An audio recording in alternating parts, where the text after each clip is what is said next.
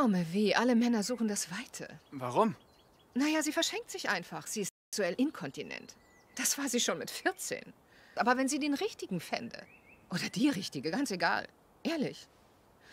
Ich war auch mal lesbisch eine Zeit lang. Aber das war mir alles zu feucht. Männer sind immer schön trocken.